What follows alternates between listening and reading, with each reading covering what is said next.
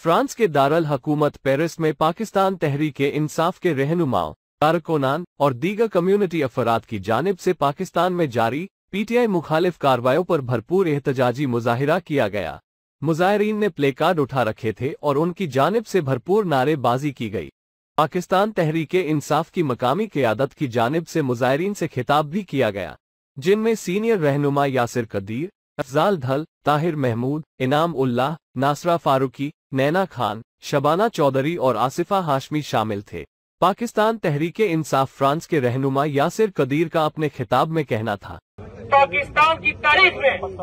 कभी ऐसा नहीं हुआ कि औरतों और बच्चों के ऊपर ऐसे तशद किया जाए। ये जो ये जो तेरह जमाती पीडीएम का इतिहाद है अफ्रीका के गुलाम है इन्होंने मुल्क में अंदर तमाम इंसानी और जमहूरी कदरों को पामाल करके रख दिया है। इस वक्त इमरान खान पीटीआई की लीडरशिप और कारकुनान के ऊपर बहुत ही मुश्किल वक्त है। और हम यहाँ पर पेरिस में इसलिए इकट्ठे हुए कि उनको साथ इशारे यकजहती कर सके कर सके और उनको बता सके कि ओवरसीज में फ्रांस में बसने वाली भी पाकिस्तानी आपके साथ खड़े हैं आपके पीछे खड़े हैं। हम 9 मई को जो कुछ हुआ उसकी भरपूर मजम्मत भी करते हैं। लेकिन हमें ये नहीं भूलना चाहिए कि ये पीडीएम का टोला अपने इकदार अपनी लूट मार को बचाने के लिए हर किस्म की साजिश कर सकता है। और ये एक साजिश के तहत बयानिया बनाकर ये पाकिस्तान की फौज को और पीटीआई को आमने सामने खड़ा करना चाह रहे हैं जिसमें नुकसान इस मुल्क का है। हम आर्मी चीफ से ये मुतालबा करते हैं कि आप एक इंडिपेंडेंट इलेक्शन कमीशन एक कमीशन बनाएँ जो कि इंक्वायरी करे इस मौका पर मोहतरमा नासरा फारूकी की जानब से भी मुजाहरीन से खिताब किया गया, उनका कहना था। तहरीक इंसाफ के बानी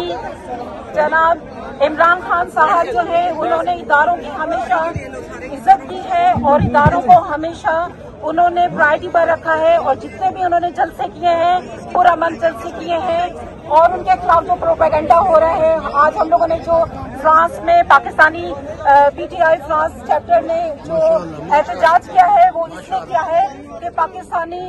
हमारे जो भाई हैं पाकिस्तान में पीटीआई के तमाम अरकान जिन्हें गैर कानूनी तौर पर हिरासत में लिया गया है और तीस से जायद हमारे भाइयों को जो गोली मार दी गई है ज़िले शाह समेत हम चाहते हैं कि उनके लिए आवाज़ उठाएँ और ये तमाम जो जुल्म बर्बरियत का जो इन लोगों ने एक तमाशा खेल लगाया हुआ है, इसको बंद किया जाए। कानून को, इज़्ज़त दें और हम ये चाहते हैं कि जो ना खातन को खासतौर पे जिस तरह से घरों में घुस के तस्लील किया गया, हम उसकी मजम्मत करते हैं।